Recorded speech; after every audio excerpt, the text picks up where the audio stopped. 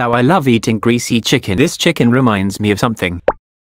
What five head? IDK what but I taste salt and betrayal. I either die a hero or live long enough to see your KFC wings turn into a Twitch puppet? Hey comrades, I hope you're doing well. So the feasting wings are almost like a Genshin Event myth, but now they're here baby for a small small loan of $10. I mean, people were complaining about the pricing, it should be free, but I, I don't think so, since the CN community had to pay around 9 USD. But listen, the CN dogs got a pretty snazzy razzy offer. Uh, a bucket of dummy big drumsticks and drippy wings, iced out. I love that MiHoYo is trying to save us from a cardiac arrest before Daisy, but this isn't really a certified Bing chilling moment. I don't think making the global community purchase two tier 1 subs from a list of specific streamers that they probably care about as much as the reckless palette is the way, the truth, or the light.